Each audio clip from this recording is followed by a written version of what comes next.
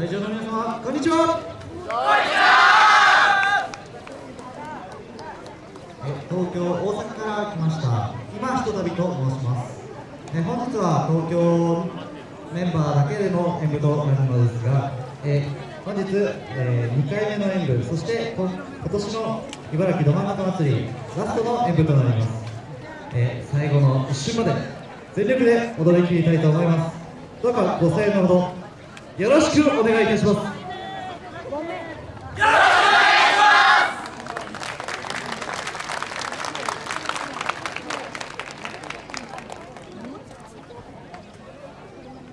それでは今一人